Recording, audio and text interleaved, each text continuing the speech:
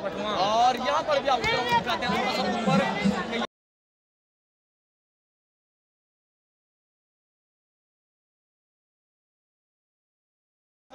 श्राम का